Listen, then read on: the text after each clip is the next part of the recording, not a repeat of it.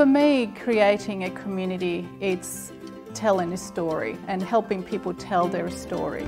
So, you know, the first 12 months were just about um, letting everybody know around the Sunshine Coast that there was going to be a first community here and starting to create those opportunities of networking when the actual people get here. Now we've got about 90 families living in Harmony, so that gets really exciting because I can walk the streets and start conversing with people about what they want, what they need, to see if their vision of what Harmony is to them is the same and aligns to what the vision is from Avid for, for the state. So the inspiration for their long table dinners came from my childhood.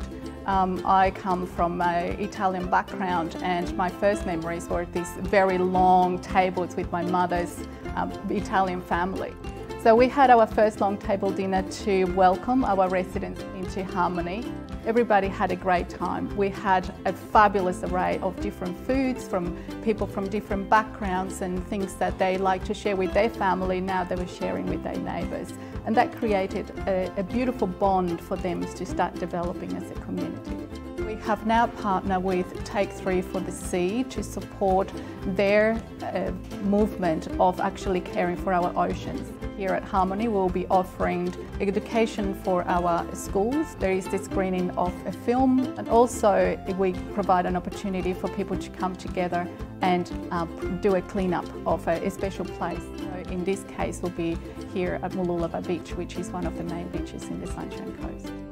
If we think as individuals as notes and music in a piece of music, so we bring together different notes to create a harmony.